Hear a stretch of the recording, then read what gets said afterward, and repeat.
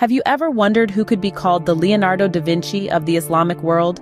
Meet al-Biruni, a genius whose thirst for knowledge knew no bounds. This 11th century scholar, a polymath of the Islamic Golden Age, traversed the worlds of science, mathematics, astronomy, and cultural studies, leaving an indelible mark on the annals of history. Born in Khwarezm, now in modern-day Uzbekistan, al-Biruni's intellect shone early. He mastered various fields from philosophy and linguistics to physics and geography. But it was his groundbreaking work in astronomy and his methodical approach to scientific inquiry that truly set him apart. Al-Biruni's astronomical works are astonishing not just for their accuracy but also for their innovative methods. He improved the precision of the measurement of the Earth's radius, a feat that had significant implications for geography and cartography.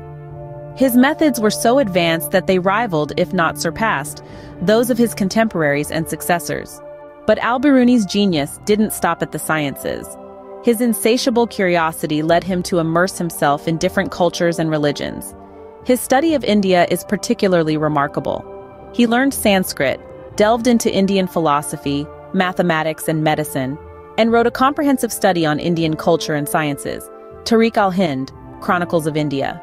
This intellectual giant's approach was marked by respect and open-mindedness, a rare quality in an era of rigid dogmas. His works reflect a genuine attempt to understand and present cultures in an unbiased, scholarly manner. As we explore al-Biruni's life and vast intellectual contributions, we are reminded of the universal nature of knowledge and the power of curiosity and respect in bridging cultural divides. What does al-Biruni's legacy teach us about the interconnectedness of different fields of study and cultures? Join the conversation below and share your thoughts on this remarkable scholar. If you're inspired by the stories of great minds who shaped our understanding of the world, don't forget to like, share, and subscribe for more.